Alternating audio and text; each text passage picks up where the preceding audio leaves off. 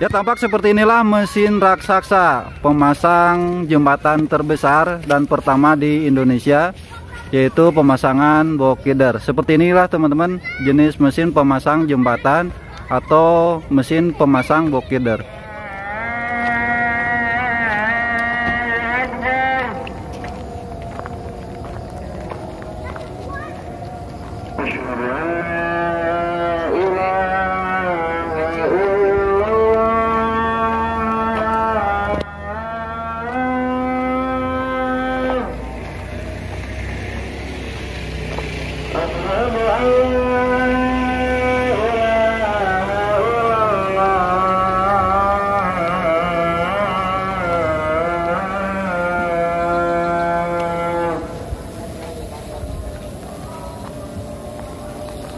Bye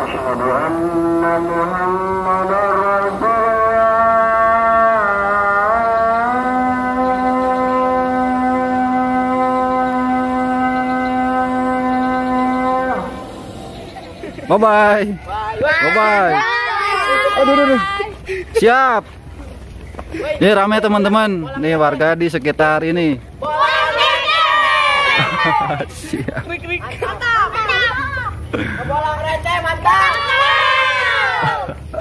Assalamualaikum warahmatullahi wabarakatuh. Balik lagi bareng Haki di channel Ngabolang Receh.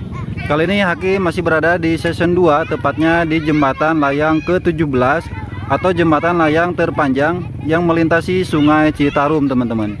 Di sini sedang berada satu buah mesin launcher Yang sudah selesai Pemasangan bokider terakhir Yaitu bokider ke-99 yang ada di lokasi ini teman-teman. Di tahun 2022 tepatnya pada hari ini 1 Januari 2022 saat ini di lokasi ini tidak ada aktivitas apa pun teman-teman. Ini sedang standby mesin e, pemasangan bokider atau mesin launcher dan juga penjaga yang berada di sebelah sana teman-teman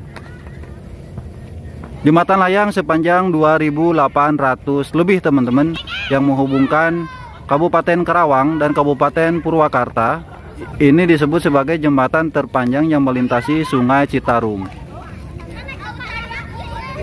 Di jembatan ini sudah selesai dan berikutnya akan melintasi jalur subred untuk pemasangan ke arah jembatan bridge ke 18B.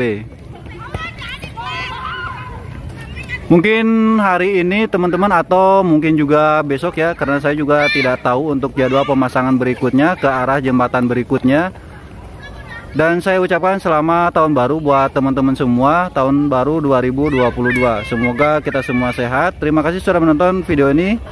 Jangan lupa like, share dan subscribe buat teman-teman yang baru menemukan channel Ngabolang Receh. Terima kasih sudah menonton. Wassalamualaikum warahmatullahi wabarakatuh. Bye bye.